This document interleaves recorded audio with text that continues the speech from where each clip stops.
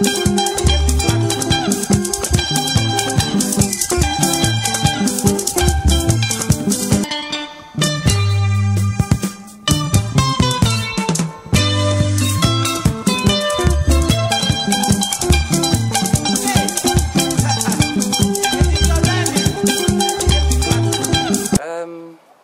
my name is Mwenkara Bruno, acting principal of St. Basilide's Technical School.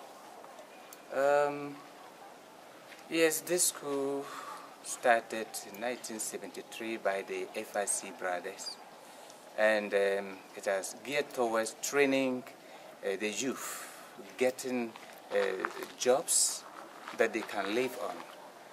Um, that has been for the trend for some time now. NVTI was enrolled to pay some of the teachers and also certificate students. But in September 2010, GES absorbed the school and now we are under GES uh, curriculum.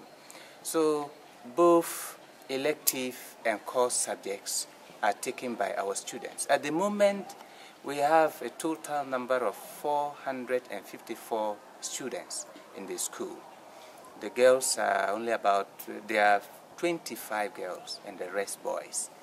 Um, we run four programs, namely electrical installation, welding and fabrication, carpentry and joinery, and building and construction works. ICT started here. It took off well with the GIFEC promotion by giving us some 20 computers. They are the moment network and a, a JICA volunteer at the moment is taking students on ICT training.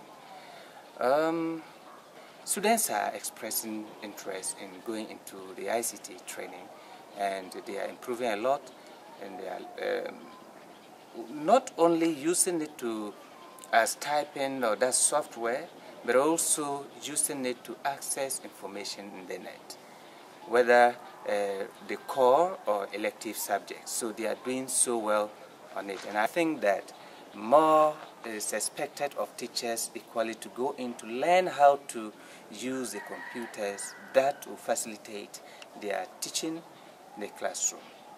Thank you.